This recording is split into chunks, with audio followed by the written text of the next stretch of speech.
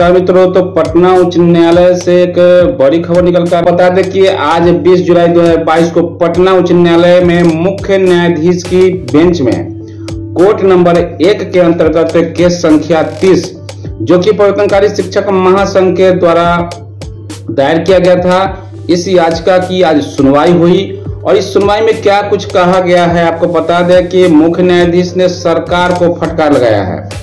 सरकार की ओर से महाधिवक्ता प्रशांत कुमार शाही एवं अपर मुख्य सचिव, शिक्षा विभाग के के के पाठक की ओर से उच्चतम न्यायालय के वरिष्ठतम अधिवक्ता गण अपना पक्ष रख रहे थे। तो एक ये बड़ी खबर है।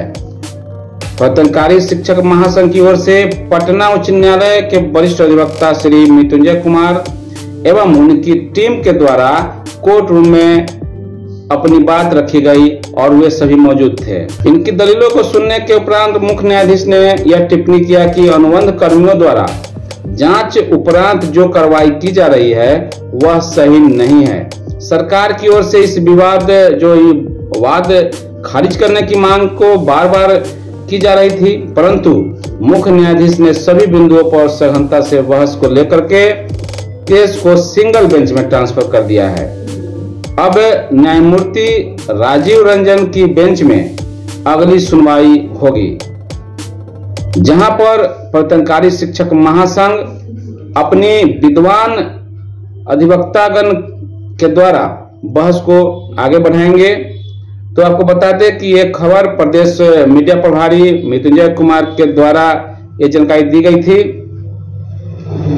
तो यह एक बड़ी खबर है, शिक्षा विभाग के द्वारा, जो तनाशाही आदेश बार बार निकाला जा रहा है और बार बार तनाशाही फरमान निकाला जा रहा है, जो कि कहीं से भी उचित नहीं है। साथ ही साथ जो कनिये या अनुबंध कर्मी हैं, कर्मचारी, उनके द्वारा शिक्षा विभाग और शिक्षा विभाग के स्कूलों की जो जाँच कराई जा रही है, इस पर तिखी प्रक्रिया अपनाते हुए प्रतनकारी शिक्षक महासंघ ने यह कदम उठाया है और प्रवर्तनकारी शिक्षक महासंघ अपनी बातों को कोर्ट के माध्यम से सरकार तक पहुंचाना चाह रही है। इसलिए सरकार के जो ये तनाशाही फरमान है, उसके खिलाफ यह केस दर्ज किया गया था और इसमें सुनवाई आज हुई है और सुनवाई में जो कुछ भी हुआ है, उसको आप तक हमने पहुँचाया।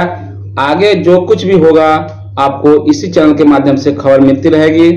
तो खबरें में बने रहने के लिए चैनल को लाइक शेयर और सब्सक्राइब करना ना भूलें। धन्यवाद। जय हिंद। जय भारत। जय शिक्षक